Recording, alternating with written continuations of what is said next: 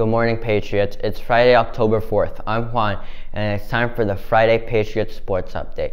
With all the rain and flooding and the days off, you may have forgotten that last weekend was homecoming. The big game was moved to Saturday afternoon, where the team was forced to play without the support of the marching band.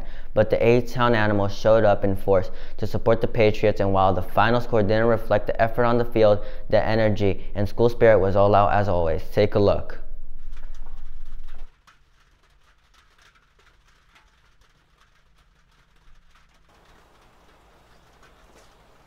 Uh, hey everyone, I'm Andrew Smith coming to you live from my backyard. Um, since school's out today, I thought I'd put together a segment for you um, to catch you guys up on what's happening in the football world here at Albemarle. So last Saturday, I went to the football game, and this is a segment to catch you guys up on how that game went.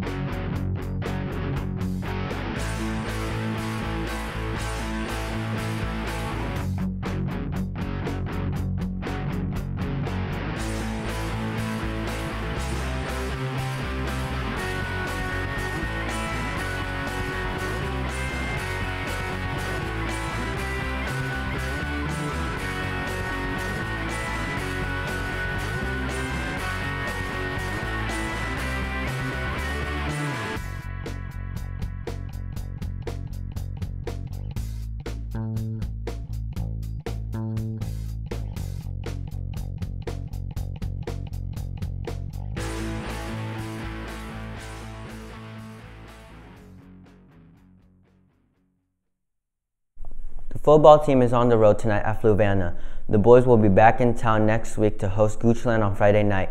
Last night, the volleyball team continued to roll to the Jefferson District, taking three straight sets from Louisa. Lacey Mann led the squad with 10 kills, and Amelia Lynch set up 26 assists. The team remains undefeated in the district and improves to 12 and 2 overall. Not to be outdone, the field hockey team dominated once again, beating Louisa 7 zip. Five different Patriots found the net with Avery Chang and Riley Maynard. Each scored twice. The team is now 8 and 2 on the season. Last week, A Town Today caught up with field hockey coach Brittany McLaney and two of the and two of our team captains to get the inside story of our team's success.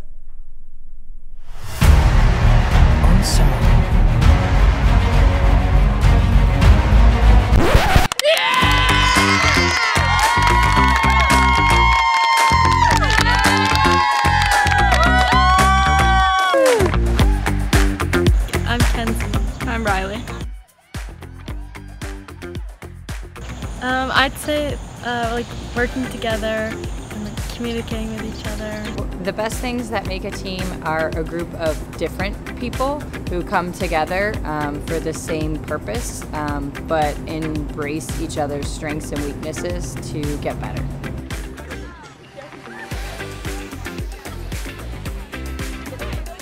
Um, probably like the friendships that we make. I don't know. I feel like we all get close together through the season. My favorite part about coaching is getting to know other student athletes that I don't necessarily get to teach in the classroom, so then I know more students in this whole school.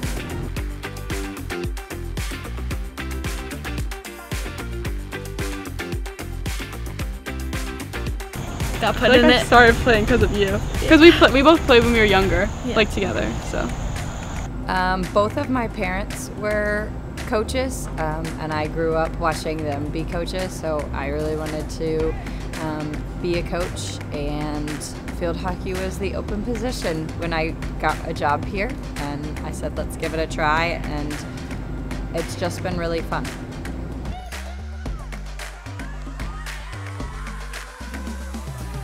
Uh, just having time to do school, but also yeah. like, like balancing everything, balancing school, like also like other friendships. now. yeah. time. Um, there's definitely just not quite enough time to go around. Um, um, but I do the best I can to be a good teacher and a good coach. That just is unfortunate when they overlap.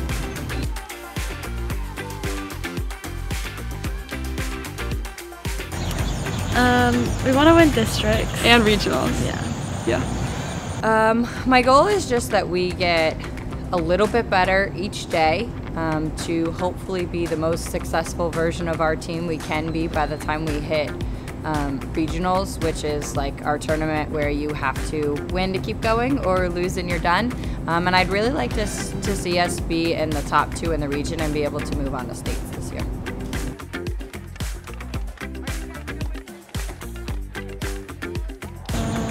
I think the team sleepovers are always like really funny. Like not a specific moment, but like they're all funny.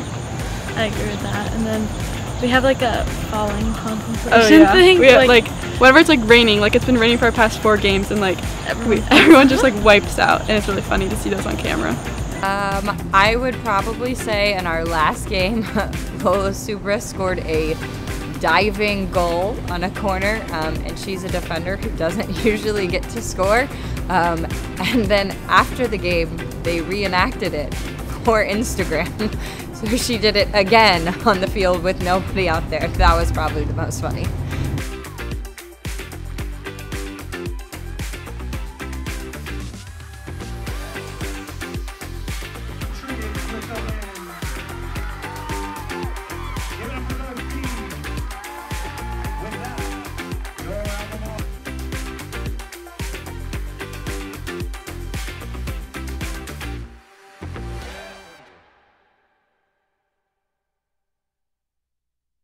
The volleyball and field hockey teams will be in action next Tuesday night when they travel to rival Western Albemarle.